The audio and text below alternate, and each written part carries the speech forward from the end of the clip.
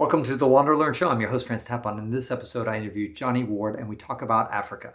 Uh, he specifically talks about his trips of when he went from Cape Town to Cairo and then from Cape Town all the way to Casablanca, up the east side and the west side of Africa.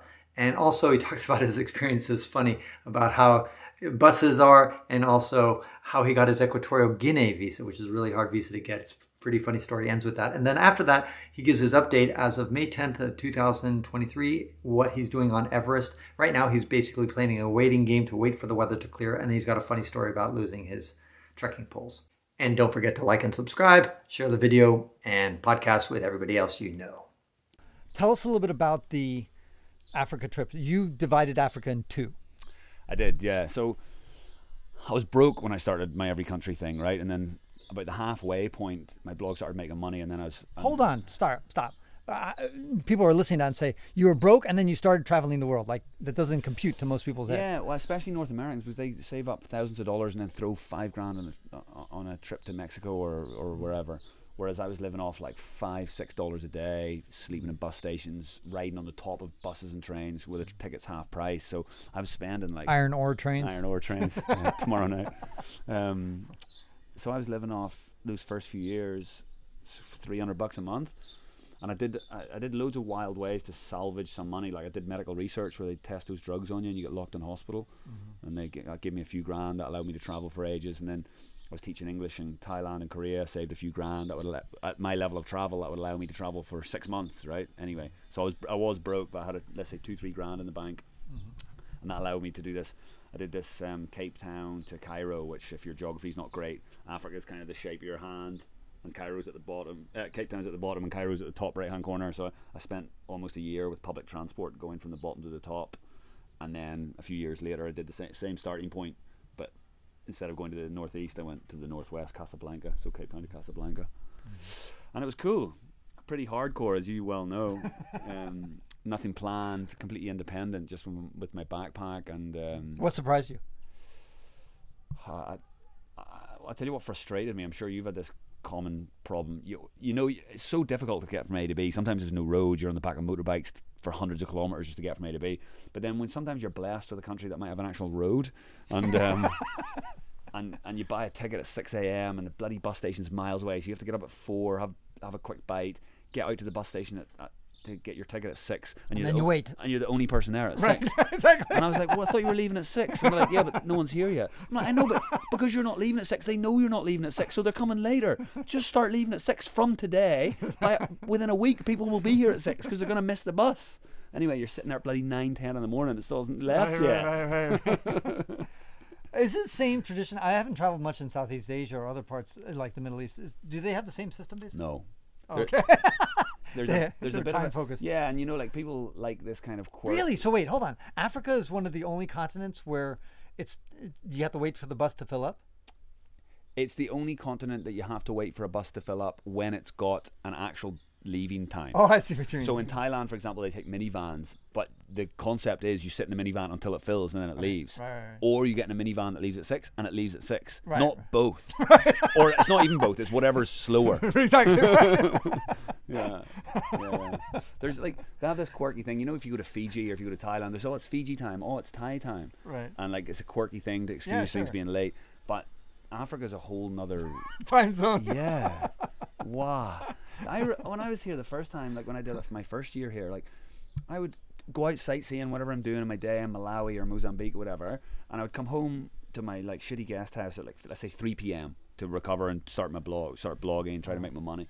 And at 3 p.m., I would walk past a restaurant and I would go and order my food at 3 p.m. and then go back and work for maybe two and a half hours, and then go to the back to the the shack that I've ordered my food at like five, half five, and that's when they would be delivering their food like two hours later. You know yourself. You're like, what? What have they been doing for two hours? Even yesterday, milking the cows, harvesting the onions. Yeah. like yesterday, we we pre-organized because I've got a group with me here for the iron ore train in Mauritania, wild adventure. And I know this guest house. I've been here loads of times. Mm-hmm. We said, listen, mate, we're coming tomorrow for lunch and dinner. We're coming at twelve. Please be ready. We turn up at twelve. Nothing's been ready. And I was like, what's going on? He's like, I thought you were just staying for dinner. Like, Here's the message I sent you telling you that we're coming for lunch. Anyway. you have to be patient, and I, and I really struggle with that. you you vowed you'll never go to a place that requires another visa. Yeah, well, Africa is just, you know, obviously I live in Thailand and, my, and a Thai passport's quite weak. So when I'm traveling with my missus, it's I have to go through a lot of visa struggles with Yes. her, Yeah, yeah. I had the same problem with Cameroon, and people feel like, ah, yeah, and Cameroon's even worse than Thailand. I'm sure. and people, um, How many countries can Thai, uh, Thai visa get no, you? Thailand's really bad. Thailand, 60, 50? maybe, yeah. Yeah, because Cameroon's 46. or Thailand's really far down the list. Yeah, yeah. Really far down. Anyway, and then people feel like Westerners can't relate, but if you spent any time in Africa, you can relate. I've spent more time fighting for visas than any Thai person. How did you get your Equatorial Guinea visa? Oh, oh, I have a good story about that. So Equatorial Guinea is one of the hardest countries in the world to get a visa for, Unless you're an American. unless you're an American. Yeah, USA. um, but the rumor is that the best place, which is still difficult, is a little outpost in Gabon. Have you heard about this place? No.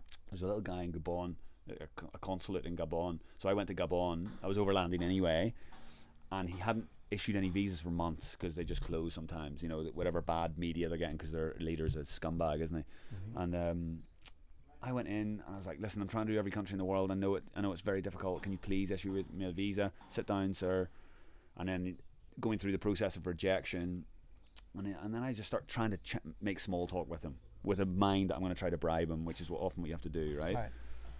And then he's like, "Oh, well, it's a strange accent you've got." And I was like, "Yeah, yeah, I'm from Ireland." And he's like, "Oh, you're from Ireland?" He said, "Ah, I studied my undergraduate graduate degree in Dublin." I was like, "Oh, really?" He's like, "Oh, better than that." This is like nine o'clock in the morning where the embassy's open. He's like, "Better than that." He's like, "Wait a second.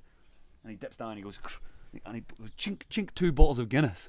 and he sets it on the desk and he goes, "Ksh, ksh," and he says "Sláinte," which is cheers in Irish. He's like, "Sláinte," and then we drink our Guinness. And he empties and we're drinking Guinness. And I At stay 9 there- a.m. yeah, and stay there until all the Guinnesses are gone six, three each. And he's like, "Oh, have a great time in Equatorial Guinea." Ding, ding, on you go. So it was actually Wow. really easy for me to get. Yeah, Wow. just luck, but yeah, Wow. yeah, that was cool. the connection. Yeah, that was cool. Um, We are at the top of Kala Patthar and it's rather chilly. Here we are, Marky Marks and Afghani Sam. First Afghanistan and Everest, fingers crossed. I had a lovely little walk this morning up to Kala Patthar. I think it's about five seven, five six, five eight, something like that. Just trying to keep the blood flowing while we wait for the weather to clear for that bad boy in the background.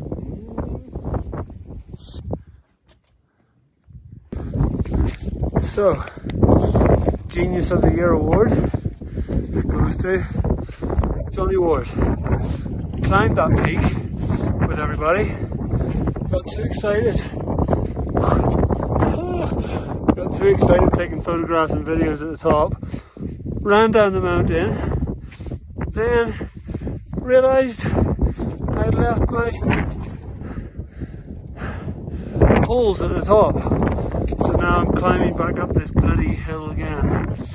Oh, that'll be over a thousand meters.